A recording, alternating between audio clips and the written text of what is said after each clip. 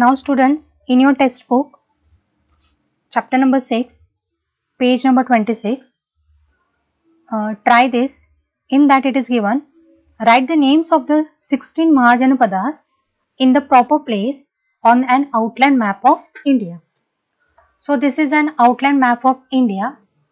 You need to purchase it and in your textbook, map is also been given. I will show you this map is also given. So you need to do what you need to do is you need to write all these 16 Mahajanapadas on that outline map. You can write with the help of the pencil or ball pen also. So this is an homework for you.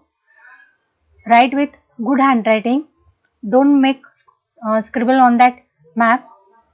Write with neat and clean handwriting.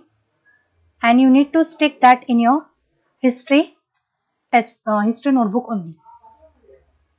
Everybody has to do it is compulsory for each and everyone. So in exam also it might be come so everyone has to do it. Okay. Thank you